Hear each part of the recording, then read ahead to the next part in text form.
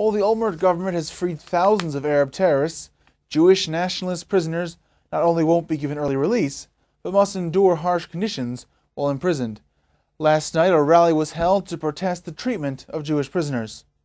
Tuesday night, hundreds gathered outside the residence of President Shimon Peres demanding clemency and presidential pardons be granted to Jewish nationalist prisoners, particularly in light of the thousands of Arab terrorists the Olmert government has freed.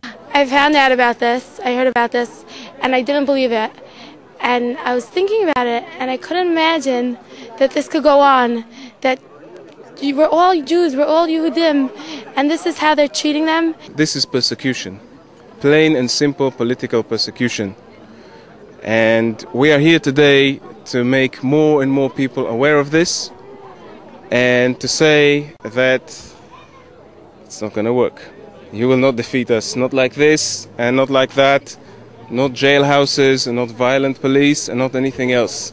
I just wanted to come show that it really, really, really bothers me, and I really care, and I'm here for you, and I care about you, and I want to just show my support. And we're Am Yisrael, I'm part, we're all part of Am Yisrael, and I want to show that I care. This is terrible, and this can't go on. The crowd was addressed by the rabbi of the Temple Institute, Rabbi Israel Ariel, by Noam Federman, who was himself a longtime Jewish nationalist prisoner, often held without formal charges, and others.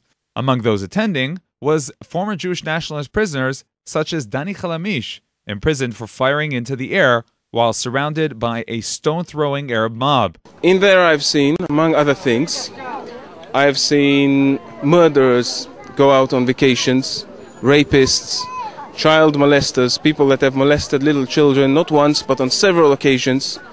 And I've seen them walk out the gate with no handcuffs on. But at the same time, Jewish prisoners are not allowed not only they're not allowed to leave, they, they cannot even have visitors come in to see them. The primary goal of those present at the protest was for nationalist prisoners to be given equal treatment and to let the government know that the fight for the rights of Jewish prisoners would not be halted.